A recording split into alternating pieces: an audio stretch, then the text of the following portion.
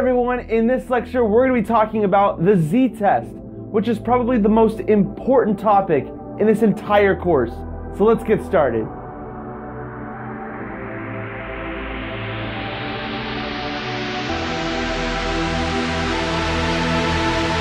So before we get started, I want to show you what you're probably going to find online if you try to look this up. And it's not very pretty. This is the Wikipedia response for what is a z-test. A z-test is any statistical test for which the distribution of the test statistics under the null hypothesis can be approximated by the normal distribution, and by the central limit theorem, many statistics are approximately normally distributed by large samples. If t is a statistic that is approximately normally distributed under the null hypothesis, the next step in performing a z-test is to estimate the expected value of t under the null hypothesis, and then obtain an estimate s of the standard deviation of t, after which the score, standard score is calculated, from which one-tailed and two-tailed Whoa, slow down. There's an overwhelming amount of information in that.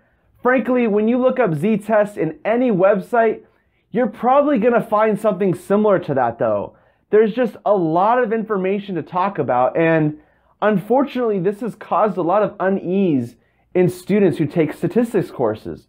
So the purpose of this video is to approach z-test in a totally new way, in a way that you've probably never seen before.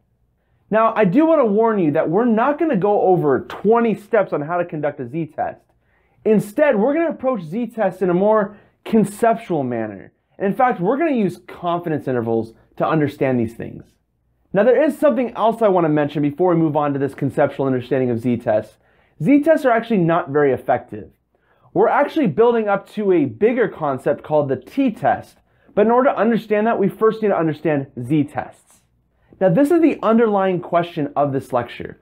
What makes a hypothesis believable? Now, remember, there are hypotheses and there are theories. Theories are considered the best possible explanations of why something happened according to the scientific community.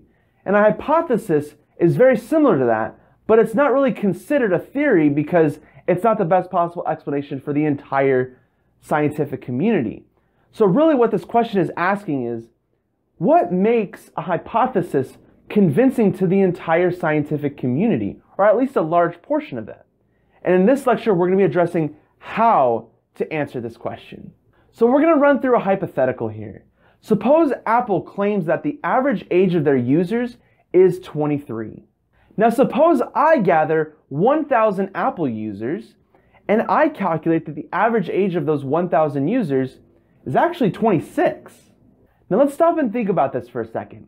Apple is claiming that the average age of their user is 23, and I just found that the average age of 1,000 Apple users is 26. 23 and 26. Are those numbers close? I mean, what does close mean? Now, we actually have a mathematical way of determining whether or not two numbers are close together. And the answer is through confidence intervals. I can use confidence intervals to determine whether or not my 26 is close to 23. Now let me summarize that information that I just gave you. What I just basically said was that there's an 80% chance that Apple is wrong about their claim. But does that mean that Apple is wrong? Now there's actually a really important point to be said here. Just because there is an 80% probability that Apple is wrong that doesn't necessarily mean that there is a 100% chance that Apple is wrong about their claim. Now that hypothetical is actually really important for understanding what a z-test is. So now I'm going to be introducing you some terminology, and I believe this is the only terminology that we're going to be covering today. It's called the null hypothesis.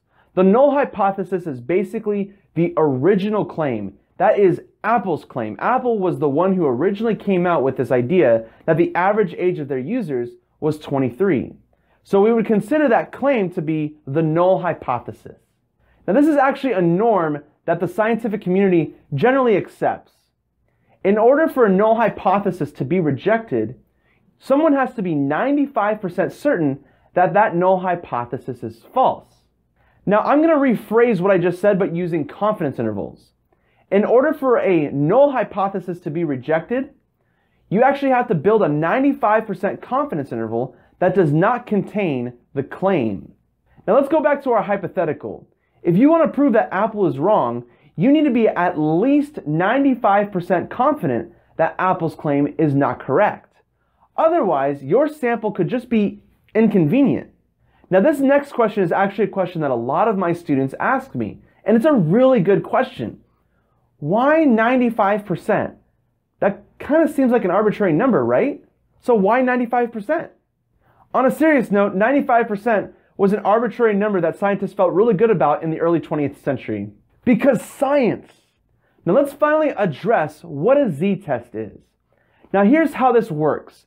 Whenever you're presented with a claim about what an average is, you might want to conduct a z-test to say, I'm a little skeptical about that claim. So whenever someone is skeptical of a claim, what they can do is they can conduct a z-test, which basically means that they're going to construct a 95% confidence interval. Now, if that 95% confidence interval does not include the claim or the null hypothesis, then we should reject that null hypothesis. Otherwise, your experiment kind of sucks. Now let me break this down even further. If you're ever skeptical of some scientific claim, then you can just conduct your own study, gather your own statistic, maybe calculate your own average, and then say, hey, look, my average is different from what these scientists are saying. Okay, well, just because they're different doesn't necessarily mean the scientist is wrong. So you conduct a z-test and say, hey, look, I computed a 95% confidence interval, and now I'm 95% confident that the scientists are wrong. And in that scenario, scientists start saying, hmm, that looks believable now. Now, to me, this definition is coherent. It makes sense. You're just trying to determine whether or not someone's likely wrong by showing that they're at least 95% wrong. And so, whenever I want to go up to a scientist and say they're wrong, I just have to go up to them and say, well, there's like a 95% chance that you're wrong. Now, I want to address some of these phrases that I've used in the definition of a z-test. What does it mean to reject a null hypothesis?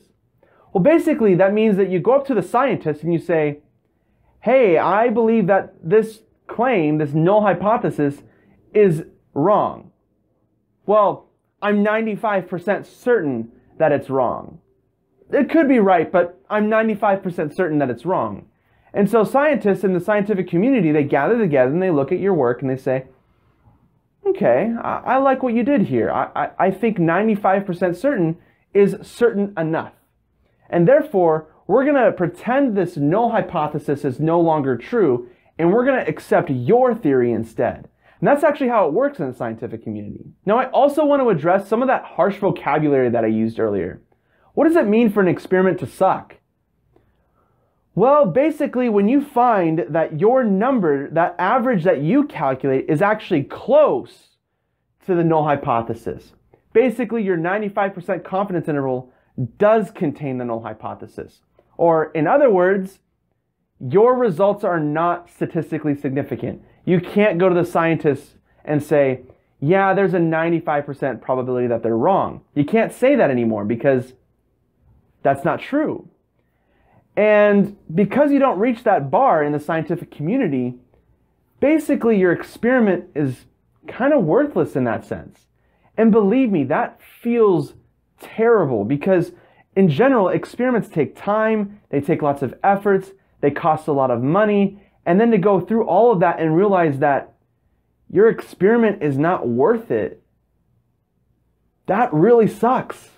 Now, there's going to be this lingering question throughout the next several lectures. Earlier, I mentioned that z-tests are not really effective.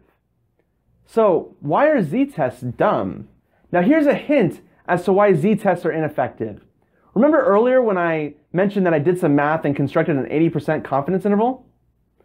How did I do that? I mean, I sampled 1,000 Apple users and calculated this age and calculated this confidence interval. How did I create that confidence interval? Now, we'll actually address those questions in the next couple lectures, but I also want to foreshadow something else. So far, z-tests are really only useful for debunking theories that make claim about averages. So what about like proportions?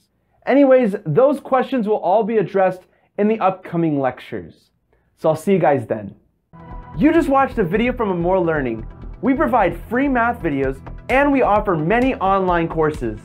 We also provide free math tutoring via YouTube Live every Thursday and Sunday at 9 p.m. Eastern Time. Make sure to subscribe to our YouTube channel and like this video to get access to all of our free content. And put a comment in the comment section if you have any math questions. Check out all of our courses on amourlearning.org.